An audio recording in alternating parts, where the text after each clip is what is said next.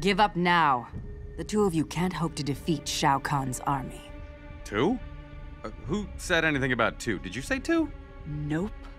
Well, I didn't say two. If it was just two of us, well, I mean, that would be stupid. Crazy, even.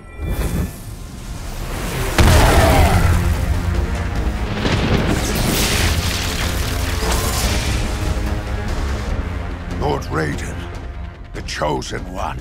Oh, great. Now I'm getting second billing. Shall we? We shall.